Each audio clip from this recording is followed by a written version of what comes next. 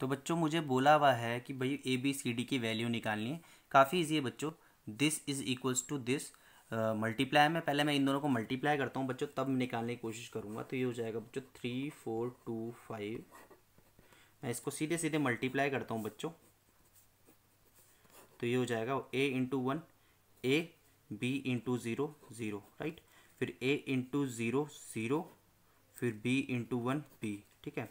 फिर नीचे वाले सी इंटू वन सी फिर डी इंटू ज़ीरो ज़ीरो फिर C into zero zero D into one D ठीक है?